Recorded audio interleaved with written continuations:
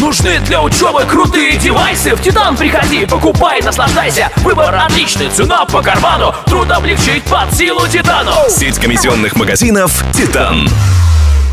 В эфире проект «Место происшествия» и мы продолжаем.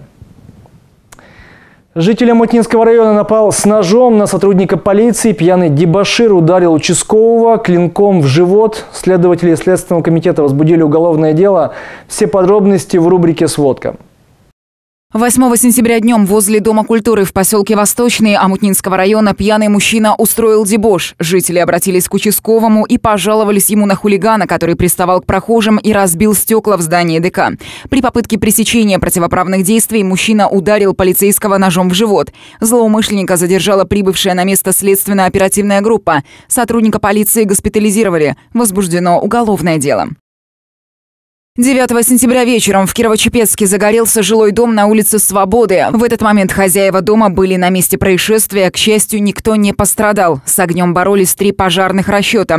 В итоге баня и пристрой сгорели полностью. У деревянного дома обгорели стены снаружи и изнутри. Спасатели не исключают версию поджога. Точная причина ЧП и сумма ущерба устанавливаются.